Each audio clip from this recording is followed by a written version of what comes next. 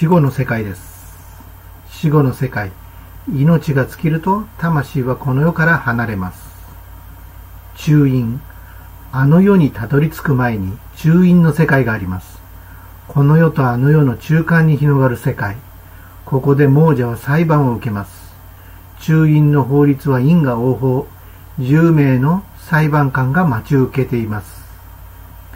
メイド、亡者のさまよう冥界へと向かうメイドの旅が始まります。出発地点は死での山の裾野、星明かりだけを頼りにただ一人参道を行きます。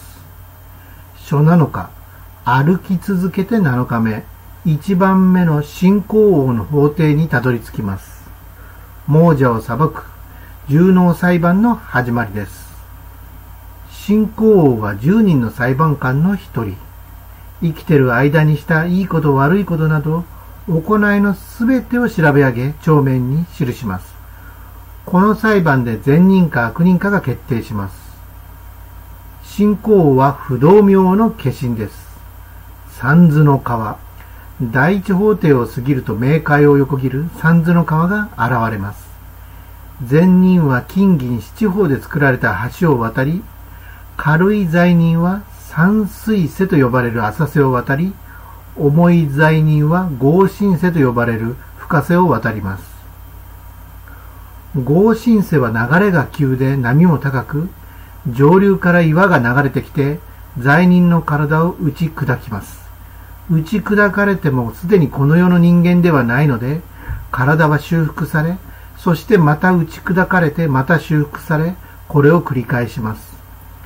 川の底には大蛇が住んでいるので、食われることもあります。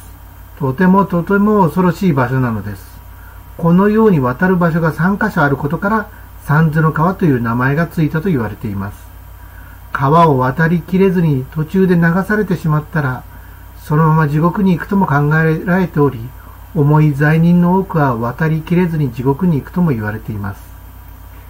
三途の川のほとりには、エリョージという大気があり、脱エバとケンエ王という老夫婦の鬼が住んでいます。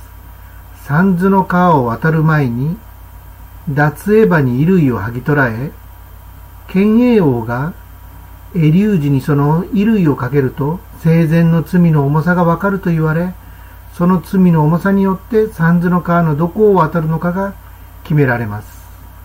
しかし江戸時代頃には六門線を持っていれば、衣類を剥ぎ取られることはなく、罪の重さで渡る川を決められることもなく、善人が渡る橋を渡っていけると考えられるようになりました。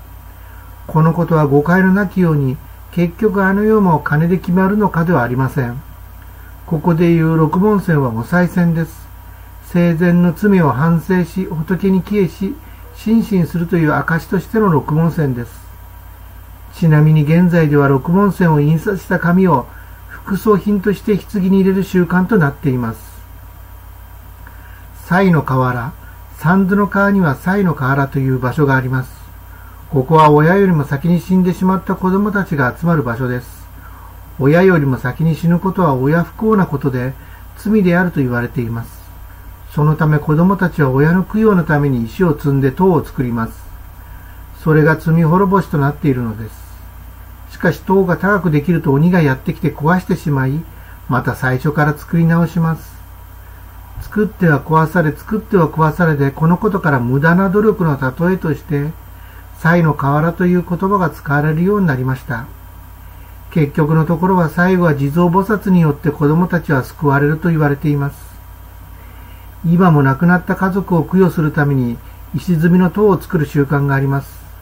もし石積みを見かけてもそっとしておきましょう。私たちは鬼ではないのですから。